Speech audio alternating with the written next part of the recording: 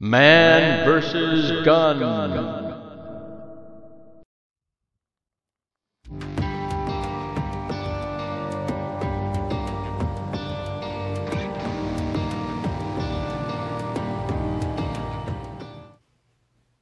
Deutsche Waffen- und Munitionsfabriken Pa 08. Hello, shooters. The first episode of Man vs. Handgun has to start with the iconic Luger.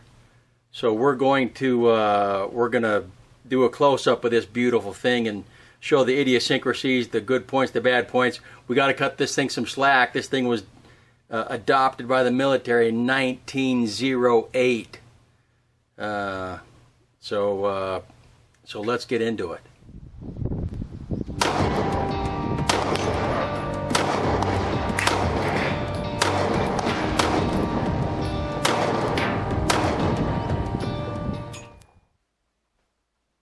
Here's the Luger, and let's put it on the scales to see what it weighs.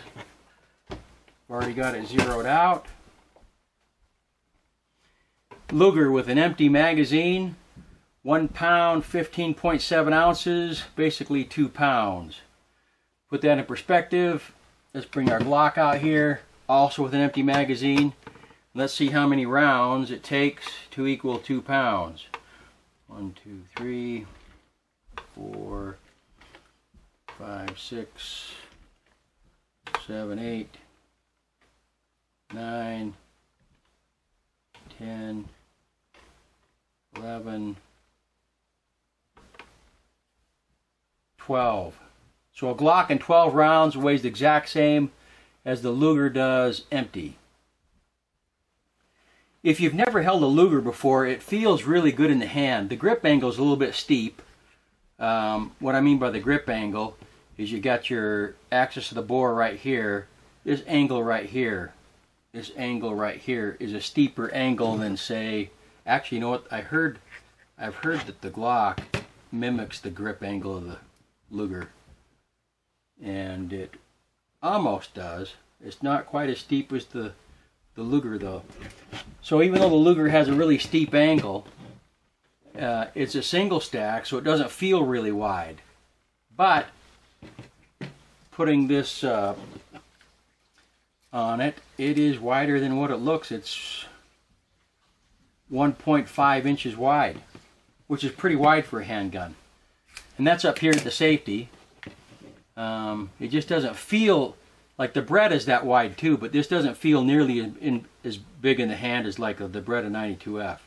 This is much more comfortable to hold than the 92F. But it is 1.5 inches wide, so that is that's just a fact. So since this is an inch and a half wide, it's uh, it's okay for duty use. Um, it's a little bit too wide for CCW. I gave that like middle of the road a three, and it's definitely not a pocket pistol. So there's where we go with that. The receiver is made out of steel. Remember, this is old school. This is, uh, you know, 107 or 8 years old, if I do the math right. Uh, the design is. This one was made in 1941 during uh, during World War II. Um, but uh, but it's just old world's craftsmanship. You can't help but just appreciate the the fine machining on this. It uh, it, it is it's something to behold.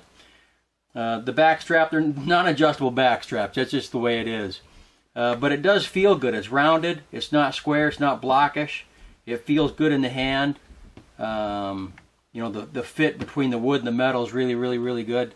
The side panels, you can get different side panels, but not really. All you can get is replacement side panels. So they're not really adjustable like you can get different ones for like a 1911 or something. This is what it is. The trigger pull on this thing is uh, the trigger pull on it is it's about six and a half pounds I would say but it's smooth. There is some there is some stacking and there is some creep uh, but this is a steel trigger. It doesn't feel like a Glock or anybody else. And once you get the wall it's a it's a it is a crisp break So it's got a good trigger pull and it's a single action so the trigger pull is the exact same every time, which is excellent. That's what we want. The magazine well is not flared. The magazine well is not flared. And this particular magazine that it came with, you know, it doesn't go in real good. I mean, it does, but there's there, there's some stiffness to it. But it's uh, but remember, this is you know 100 and 107 years old. The design is.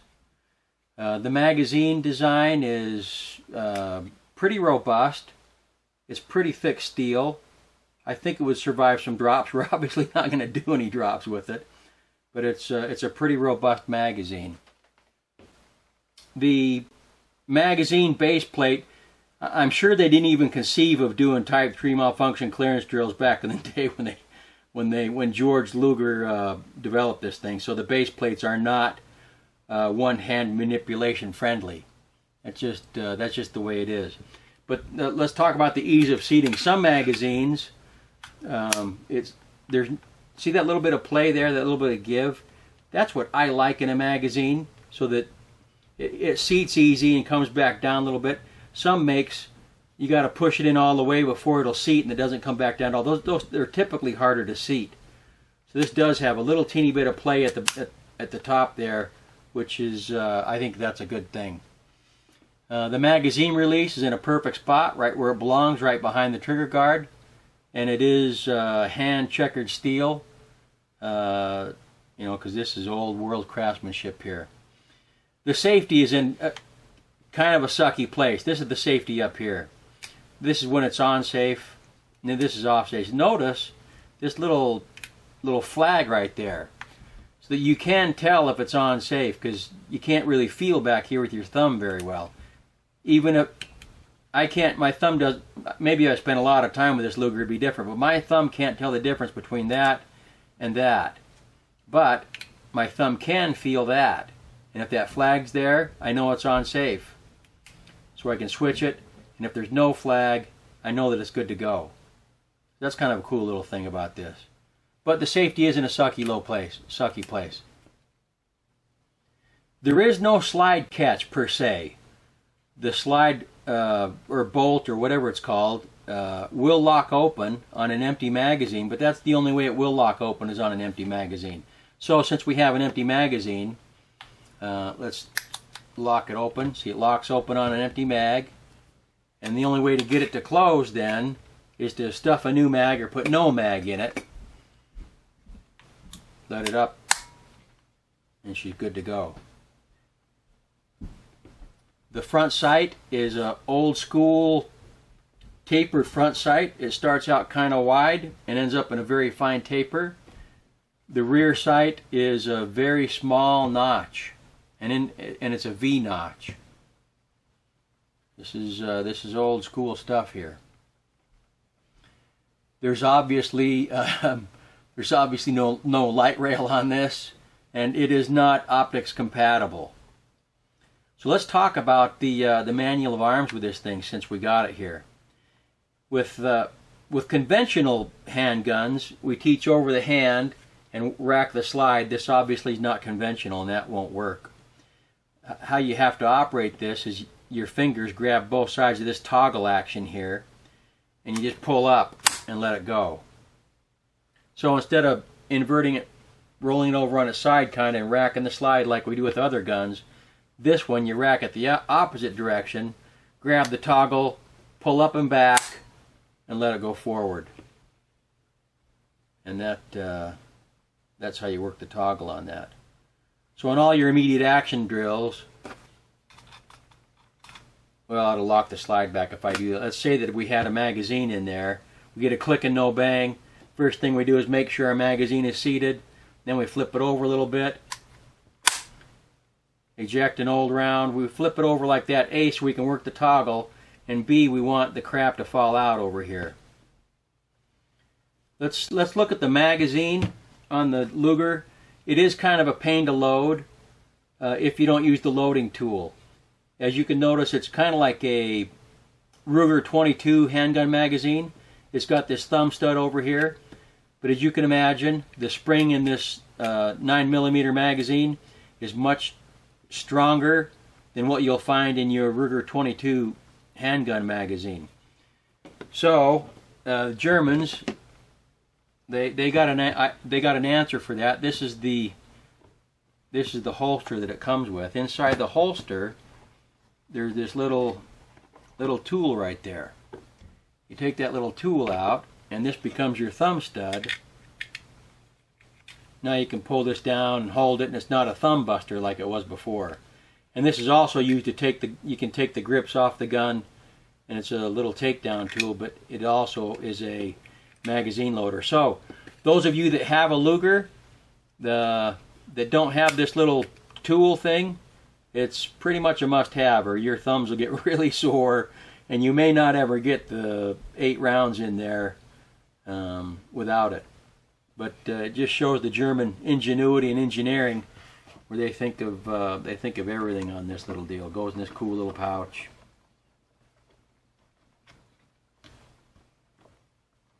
The holster also, uh, another unique thing about this type of holster is the the gun rides very deep in the holster. You can't get a you can't get a grip on it. You see how deep that rides? That's what this little pull lever is for. Is you pull on that, and it gets the gun up there far enough where you can reach in there and actually get it. And this is where uh, a spare magazine can be kept. This does not have a spare magazine, but uh, but uh, the owner of this, uh, uh, Lima Mike, he and I both think this is the original holster, just strictly from the the fact that this is a holster was made in 1941, and so is the gun. And the gun's in really, really, really, really good shape. It uh, was probably a, you know, a supply officer or somebody that uh, never saw action, never saw any field use at all because it's in such pristine shape. Anyhow, uh, shooting this thing. I've I've held Lugers before, but I've never shot one. This is the first Luger that I've ever shot and I was really surprised at how smooth it is to shoot. The recoil is totally unlike anything I've ever shot before because of this toggle action. Uh, it uh, it is it is a pleasure to shoot this thing. For one, because it just reeks of history. For another, it's very it's a very smooth shooting gun. The recoil isn't sharp, isn't harsh. One of the reasons I think is this toggle action is uh, conventional ones you have that slide coming back and hitting the frame at the end of the cycle every time. This doesn't do that. There's no slide to do that. It, um, so the recoil impulse isn't sharp at all. It's it's really smooth.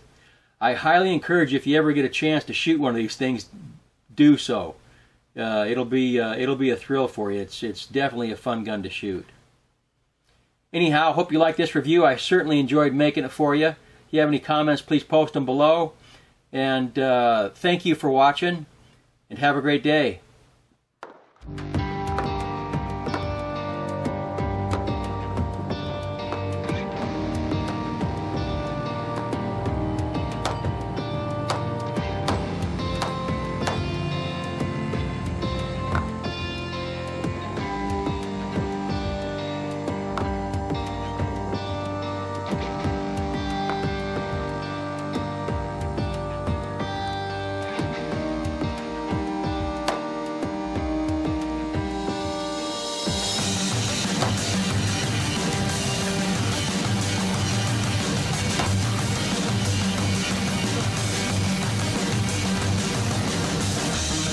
day, get whenever. Go ahead.